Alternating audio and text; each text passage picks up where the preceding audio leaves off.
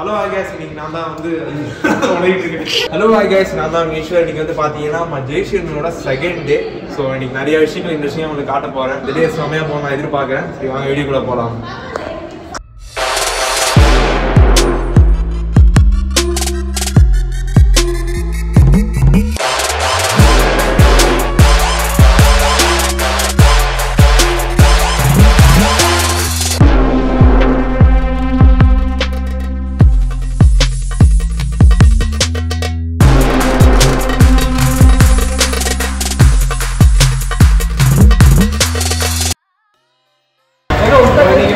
ஜெய்ஷனோட second day இப்போ வந்து பார்த்தீங்கன்னா கோத்தாரி பாட்பா ஹவாலின்னு சொல்லிட்டு ஒரு பிளேஸில் இருக்கும்.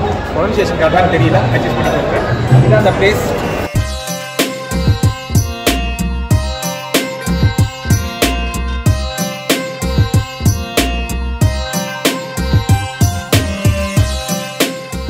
இவங்க பண்ணுற அந்த கைவினை பொருட்கள் இங்கே ரொம்ப ஃபேமஸானது ஒரு இது அவங்க நிறைய இது பண்ணிட்டு இருக்காங்க. இங்கே பார்த்தீங்கன்னா தெரியும்.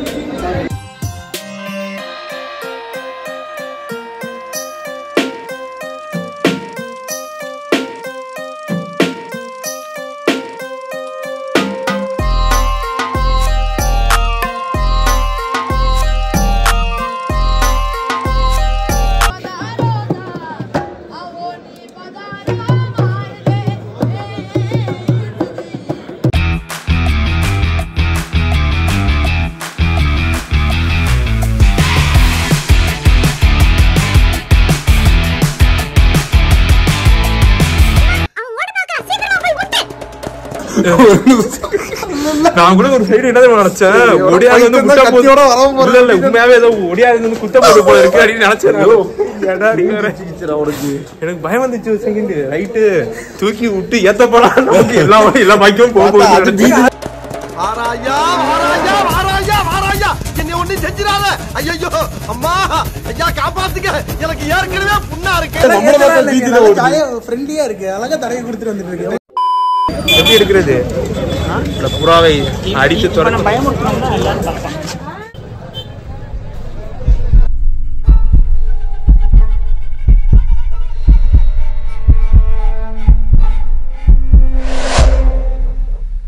நான் ப்ரோ ஒரு அளவுக்கு தான் ப்ரோ எல்லாமே. சும்மா சும்மா எல்லாம் நோண்ட கூடாது ப்ரோ நான் யாருக்கு என்ன துரோகம் பண்ண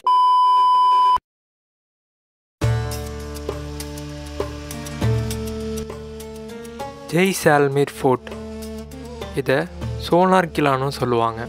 இது உலகத்திலேயே மிகப்பெரிய முழுமையாக பாதிக்கப்படாத ஒரு அரண்மனையாகும். இந்த ஜெய்சால்மீர் கோட்டை ராவ் ஜெய்சால் அப்படிங்கிற ஒரு ராஜ்புத் மன்னரால் கட்டப்பட்டது. இதுக்கு அதனால தான் ஜெய்சால்மீர் அப்படிங்கிற பேரே வந்துச்சு. இந்த கோட்டை திரிகூட மலை அப்படிங்கிற ஒரு மலை மேலே தான் கட்டப்பட்டது. இந்த கோட்டை அந்த மலையில் கட்டுறதுக்கான ரீசன் அப்போ இருந்த ராஜா ஜெய்சால்மேர்லேருந்து தங்கம் வெள்ளி ரத்தினங்கள் புகையிலைகள் வெளிநாடுகளுக்கு இந்த மாதிரி பொருட்களை ஏற்றுமதி செஞ்சுக்கிட்டு இருந்தாங்க. இந்த கோட்டை எல்லோ ஸ்டான்ஸ்டோன் அப்படிங்கிற ஒரு கற்களால் கட்டப்பட்டது. அதனால் இதை வெயிலில் பார்க்குறப்போ தங்கம் போல் ஜொலிக்கும் அப்படின்னு சொல்கிறாங்க இதுலேயும் ஒரு இன்ட்ரெஸ்டிங்கான விஷயம் என்ன அப்படின்னா இந்த ஜெய்சால்மீர் கோட்டை இப்போது பொதுமக்களுக்கான ஒரு வாழ்விடமாக இருந்துக்கிட்டு இருக்குது இதில் மூவாயிரத்துலேருந்து நாலாயிரம் மக்கள் இப்போவும் இங்கே வாழ்ந்துட்டு இருக்காங்க இது ஜெய்சால்மீர் சிட்டியோட இப்போ இருக்கிற மக்கள் தொகையில் நாலில் ஒரு மடங்கு இந்த கோட்டையிலே வாழ்ந்துட்டு இருக்காங்க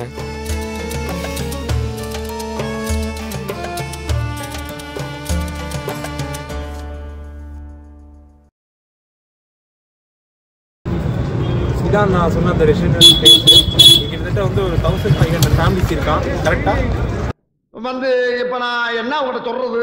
அஹ், ஒரு நிமிஷம் இந்த வந்துடுறேன் கொஞ்சம் இருங்க. ஏப்பா. யாராச்சும் கூகுளில் பார்த்து நம்மளை போட்டு விட்டாங்க உண்மையாக பயங்கரமாக தான் இருக்குது இது சூடாக இருந்தது. இப்போ வந்து எல்லாரும் எல்லாருக்கும் வீடு கொடுத்து பட் ஆனால் அதை யாரும் விற்க முடியாது. பட்டாலாம் கிடையாது போல இருக்கு. இது பார்த்தீங்களா பாகுபலியில வருமே. அந்த மாதிரி கட்டு. அந்த காலத்தில் கொண்டு போகிற ரியல் காப்பரில் பண்ணியிருக்காங்க போல. பயங்கரமாக இருக்குது பாக்குறதுக்கு. வெரி இப்போது அந்த ஒரு வீட்டில் ஒரு ஒரு போஸ்டர் மாதிரி ஒன்று பார்த்தோம்ல. அந்த போஸ்டர் எதுக்கு அப்படின்னா நம்ம ஊர்லலாம் வந்து ஒரு கல்யாணம் அப்படின்னா இன்விடேஷன் மாதிரி வச்சு எல்லாத்தையும் வீட்டு வீடாக போய் கொடுப்போம். ஆனால் இங்கே எப்படி இருந்திருக்காங்கன்னா அந்த காலத்தில் சப்போஸ் நமக்கு வந்து வீட்டில் வந்து ஒரு விசேஷம் இருக்குது அப்படின்னா அந்த வெட்டிங் யாருக்கோ அவங்க இதெல்லாம் போட்டு வெளில பெயிண்ட் மாதிரி இன்னைக்கு இந்த இந்த டயத்தில் மேரேஜ் இந்த டயத்தில் வந்து இந்த இந்த ரெண்டு பேருக்கு மேரேஜ் அப்படிங்கிற மாதிரி அதில் மென்ஷன் பண்ணிடுவாங்களாம். இப்போ யாராச்சும் வெட்டிங் அட்டன் பண்ணணும் அப்படின்னா அதை பார்த்துட்டு நேராக வந்து வெட்டிங் அட்டன் பண்ணிடுவாங்களாம். எப்படிலாம் இருந்திருக்கு பாருங்கல்ல. நல்ல ஆக்சிடென்ட் ஒரு போஸ்ட் கொடுங்க. நல்லா இல்ல. அதை விட இது நல்லா இல்ல. நல்ல வித்தியாசமா கொடுங்க.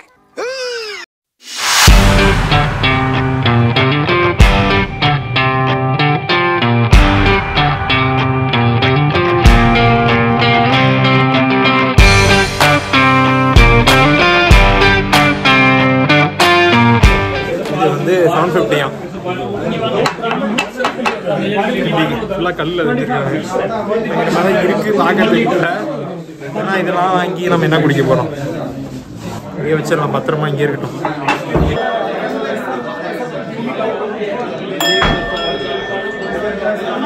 இது பார்க்க நல்லா இருந்தாலும் இது கொஞ்சம் ரொம்ப அதிகமான ரேட்டாக இருக்குது எது கேட்டாலும் வந்து டூ தௌசண்ட் த்ரீ தௌசண்ட் அந்த மாதிரி வருது. பட் இருந்தாலும் அவங்க சொல்கிற மாதிரி ஸ்டோன் அது இது நிறைய சொல்கிறாங்க நமக்கு அது என்னன்னு தெரியல. பட் ஆனால் பார்க்கறதுக்கும் அந்த குவாலிட்டியும் பார்க்க நல்லா இருக்கிற மாதிரி தான் இருக்குது பட் ஓகே நம்ம ஒரு இடமா வந்தோம் அப்படின்னா சும்மா பார்த்துட்டு அப்படியே போயிட வேண்டியதான் ஆந்திராவுக்குலாம் ரொம்ப ஹை பட்ஜெட்டாக இருக்கு எல்லாம். முடியல.